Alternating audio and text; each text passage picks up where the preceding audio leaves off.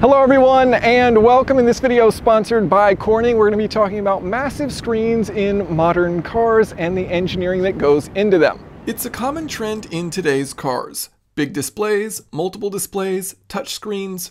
The auto industry is seeking to make our cars similar to what we're already familiar with in our pockets, our phones. And perhaps because of phones, we want the response, appearance, and feel of car displays to be similar. And there are many legitimate advantages to using these massive displays. They allow for multiple layers of controls, simplifying the interior. They allow for personal customization, smartphone like interactions, and very importantly, like our phones, the interface can be updated over time, future proofing the product. But that's not to say they're not without faults. Of course, not everyone prefers controls to be hidden behind a touchscreen. Features like windshield wipers, gear selection, volume adjustment, and climate controls are often left as physical knobs and buttons, allowing for easy use without taking your eyes off the road. There's also the challenge of the readability of the screen. If the sun is shining on your phone, you just hold it at a different angle. But that's not an option while you're driving, so reflection and glare are important. Durability is also a concern. No, it's unlikely you'll drop your car's screen on the ground. However, automotive industry standards mean you'll need to take into consideration the possibility of a passenger or driver impacting the screen during a car crash.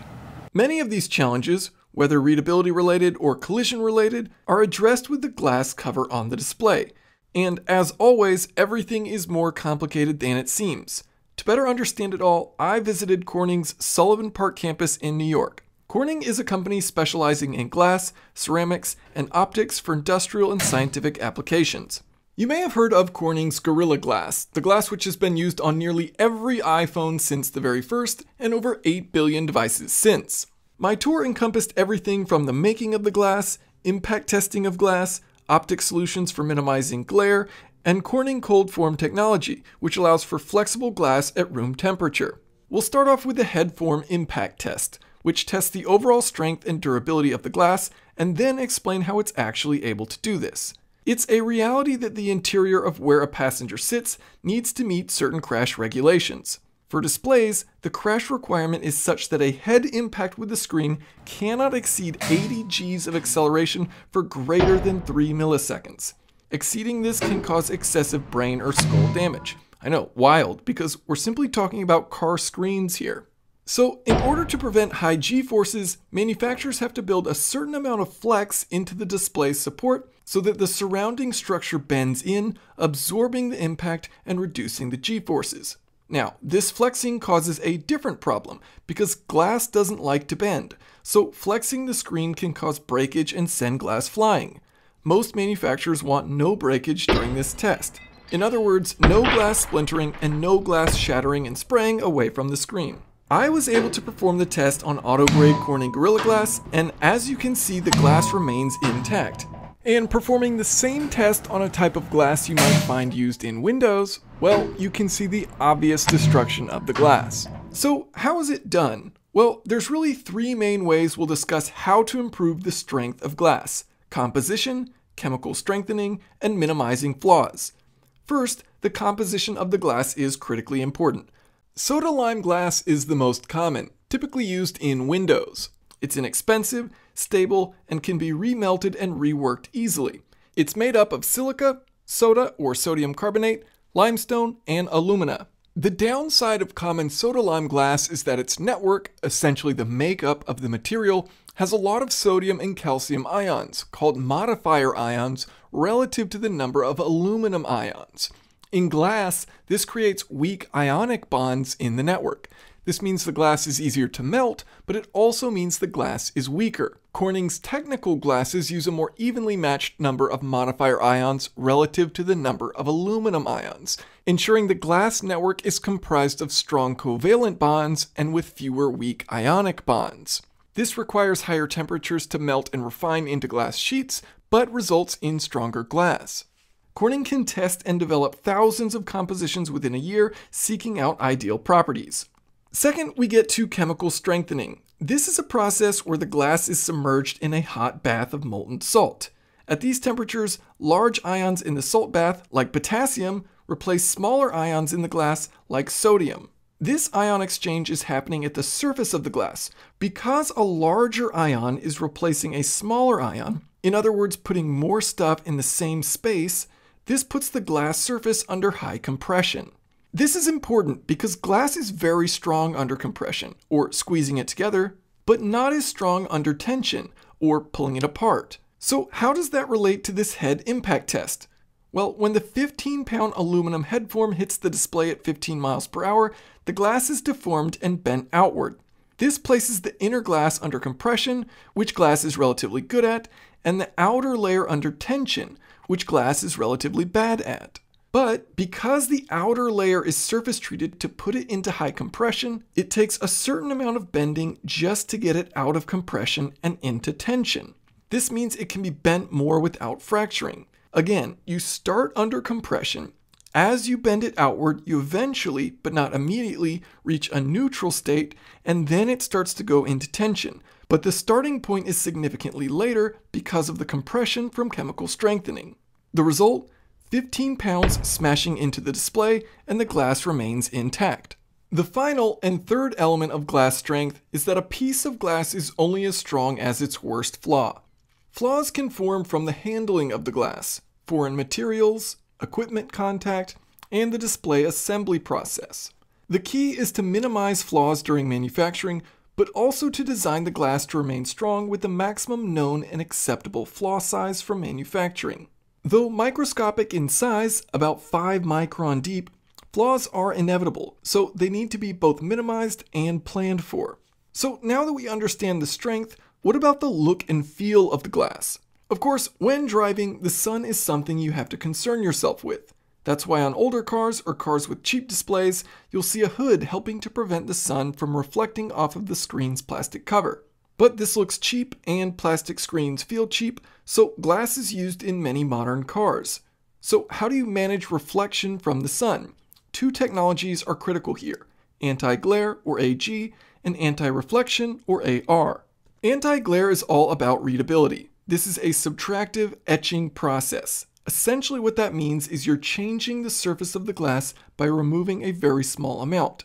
It's creating a surface roughness at the nanometer level so that the light hitting the glass reflects out in all directions, rather than directly back to the eyes of the driver. This surface roughing doesn't impact the strength of the glass, because the anti-glare etching is so thin, less than 100 nanometers thick.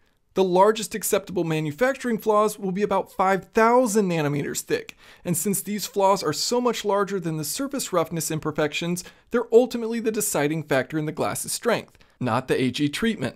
Anti-glare is great because it reduces and blurs the reflections in the glass, making them less distracting for the driver, and it's better for fingerprints versus anti-reflection coatings. However, it does give a bit of a hazy appearance.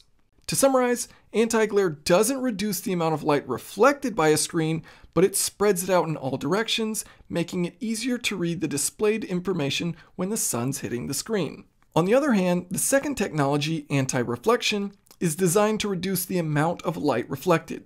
So let's start with a standard piece of glass. Generic glass will reflect about 4% of the light hitting each surface. A piece of glass has two surfaces, the front and back, so that means 8% of the light hitting it is reflected back. You probably wouldn't guess only 92% of the light makes it through a single piece of glass, but our eyes are pretty bad at interpreting this, so it looks nearly perfectly clear to us, except, you know, when the sun's shining on it then it's pretty apparent a lot of light is actually reflected. So how do we reduce this 8% number so we don't have the sun blinding us from our screen?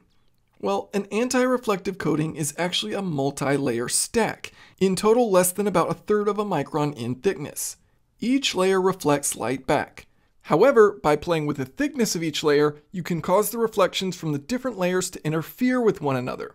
Essentially, light comes in as a wave, and the AR coating produces the opposite wave. So when you add up all of the reflected light waves, the sum is zero, meaning you see nothing reflected back. Multiple layers are used to account for various wavelengths.